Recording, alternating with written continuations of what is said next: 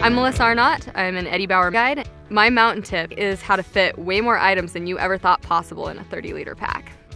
And it all starts by taking anything that is not malleable, putting it in the pack first. So if you have a stove, throw that in, your harness, any climbing gear, throw that in.